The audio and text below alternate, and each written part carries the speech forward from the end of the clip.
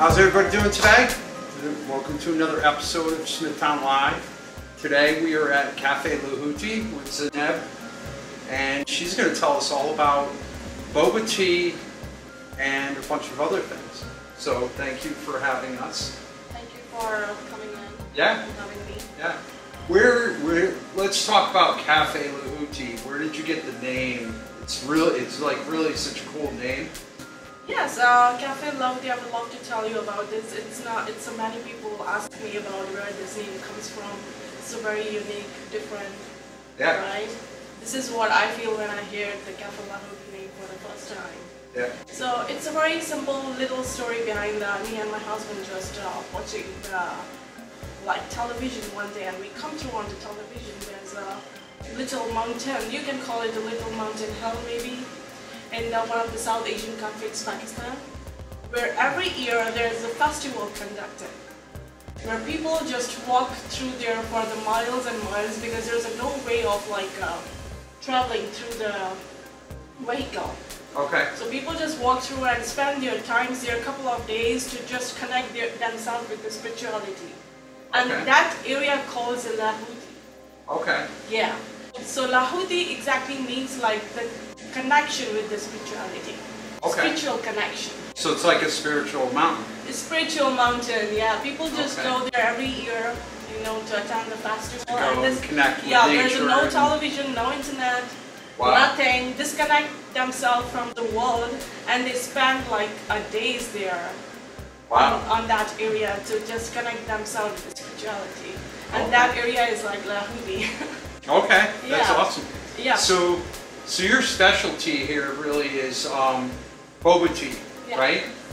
So tell us a little bit about boba tea and the history of, of boba, etc. Of course, like uh, I started drinking bubble tea back five years back.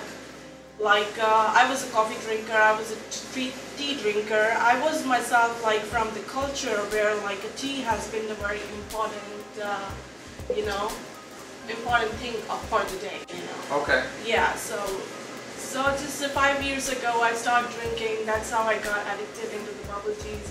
I start like buying and just start making it at my home, Experimenting. experimenting. Yeah. So bubble tea is actually like uh, innovated from the Taiwan. Okay. Yeah. And uh, after that, it just rest is the history. Just people start liking it, and uh, it's just getting its hype all around the world. Now there's Okay. a many Asian countries, uh, like they are exporting the like the tapioca balls and the bubble tea stuff. Now, that's how I just got uh, involved in this thing. okay. And I know I've had um, like the jasmine milk. It's a very one of Tea, the it's, popular um, teas here. Yeah, It's very, um, delicious. yeah. It's, Yeah. I, there's really, for me, there's no words to describe it, especially when you put the boba in it. It's yeah, like, exactly. it's, al- it's definitely like a dessert. We definitely take it Um, as a privilege, like uh, when people come here and trying the bobas for the first time in your life, literally, and Yeah. uh, they just drool. And Yeah. we also having the people like coming here, the boba drinkers, you know, almost every day. Oh, And really? Yes, of course. Uh, people, this is actually the new, almost a very new way of just consuming the caffeine Okay. right? It's the bubble teas are the caffeinated drinks, and it has a decaffeine as well. It's a variety of like flavors in it. Okay. Yeah. And you also have your own ice creams Yes. that are your, from what I understand, they're your creations, right? This is, of course, this is all the recipes that uh, I, I know how to make the ice creams. I generally take the classes, schools, I learn in the schools how to make the dozens. Ice cream was one of the things there. Okay. Yeah, so as the bubble tea is like the whole thing, a lot of dedication into that. So since we cannot making ice cream right in the house. Okay. So this is all the recipes. They're the companies that taking their, your orders, customize your your own recipes to you and deliver it to you. Okay. Yes. So they're your creations, and you just have My them, recipes, and my somebody creation, else's. somebody else makes for you and delivers this to you. Yeah. Okay. Okay. And your your decor, I love your cup wall. Um, Yes. Tell us a little bit about the idea behind that. That's Yeah, well, it Really- comes to decor this area, you know, I always wanted to be like very creative with, Yeah. with something like that. The flowers, everything, you know, you can see it on the many places, but I wanted to do something very unique. I was, I was, my plan was to keep the, like um, the real glass kind Okay. of cups, which was like then we decided it would not be a good idea to bring the whole entire wall of know. Okay, yeah. It, it might cause an, any accident for the kids, you know, or Yeah. something to fall on someone. So then we decided to go with the cute paper cups on it. Okay. Yeah. Very cool. So we're gonna watch you make some um, some boba, and then you can talk a little bit more about Yeah. what like what makes your boba um, different than other bubble tea places Yeah, in the course. area. So we can go Of back course. there and um, can talk about that. And by the way, coffee is Yeah. delicious. Thank you. So you're just getting ready to finish up this batch of delicious boba, right? Yes, they are, they have been cooking for like a good 35 minutes already, but the whole process of the boba takes like one hour and 30 minutes. Oh wow. Yes. And uh, this is just, uh, I could say, like halfway of we are baking the bobas.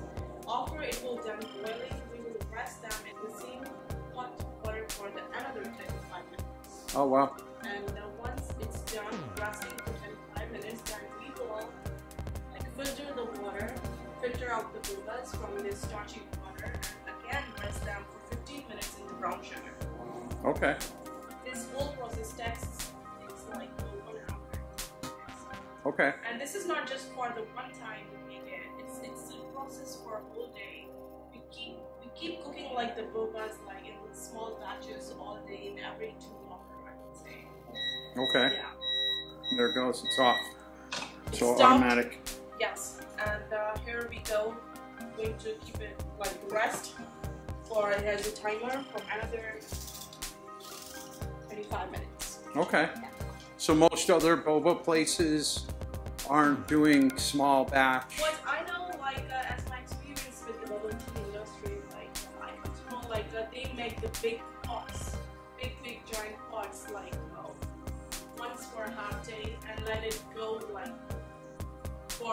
seven hours maybe. Okay. Yeah, or some of the bubble tea places use the pre-made bobas. The tapioca also comes in pre-made. You just open up the packet and start serving. Okay. Yeah. But, Oh, but okay. it doesn't give you that taste, that uh, softness, chewiness. Yeah. This is this is the real way of making the tapioca that it's supposed to be like this. Awesome. It's a process of like all day. This is I think this is the bobas that our brings our this is making of woman's every day with small batches. The freshness, chewiness, and the flavor of like brown sugar brings our customer back Yeah. Yeah, definitely. It's like a um, like a texture. texture of this because boba are like very temperature sensitive. Okay. Like if you keep them for more than three hours, they will lose its taste, texture, and I would say like almost everything. Oh wow. Like when people just pay you, I believe and give them the quality.